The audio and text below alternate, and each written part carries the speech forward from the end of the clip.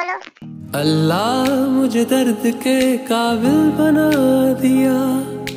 तूफ़ान को ही कश्ती का साहिल बना दिया। तुम क्या हो?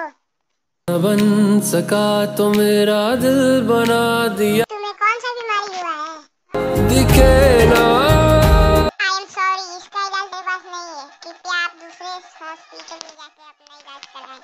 Thank you